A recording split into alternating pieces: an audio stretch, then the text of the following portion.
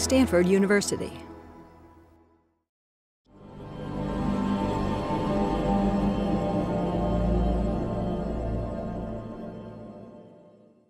We had several questions come in about stroke. Uh, stroke historically has been viewed as something for which there's very little hope. Uh, people will have some functional recovery, usually in the first days or weeks after stroke, but frequently the effects of stroke are long-term and debilitating.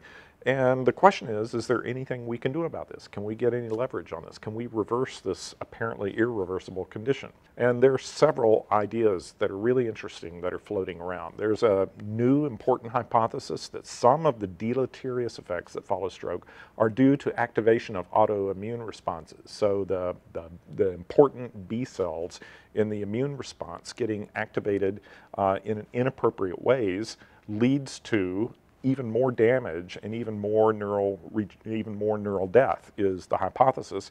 And if we can intervene at that B cell system in the immune system we might be able to actually rescue some of the tissue damage that follows stroke. Other interesting ideas are using uh, non-invasive electrical stimulation techniques like transcranial magnetic stimulation and not simply using it as a diffuse way to exercise cells but actually using it to figure out which circuits are influencing which other circuits in the brain. So here at Stanford, we've developed a way to combine transcranial magnetic stimulation with magnetic resonance imaging. So we can put in a pulse of electromagnetic stimulation, and using the imaging then, we can see which circuits are responding to that pulse of magnetic stimulation. And the hope is that some of the circuits involving the affected region in stroke, we can actually show are important for creating new plasticity in the area, whereas other circuits may be less important. And if we can actually measure those things with the imaging, we can actually work out the circuits and which ones are best to stimulate in order to restore the affected area of the brain to some plastic state.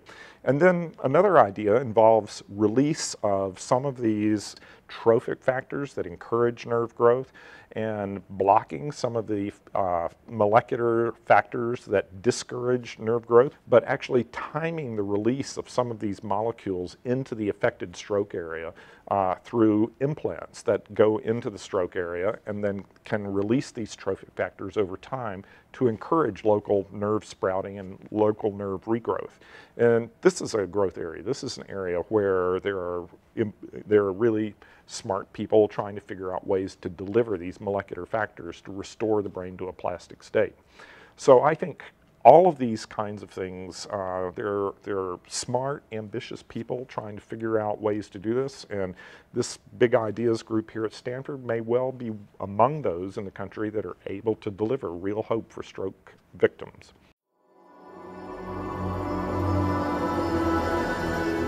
Stanford University.